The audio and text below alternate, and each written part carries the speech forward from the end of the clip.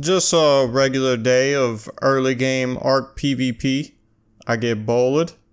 I don't have any arrows.